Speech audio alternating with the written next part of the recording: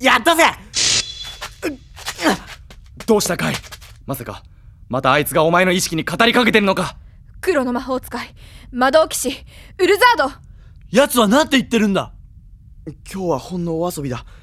いずれ地上は我らインフェルシアのものになるって。いよいよ本気ってわけ？だけどそんなことさせてたまるか！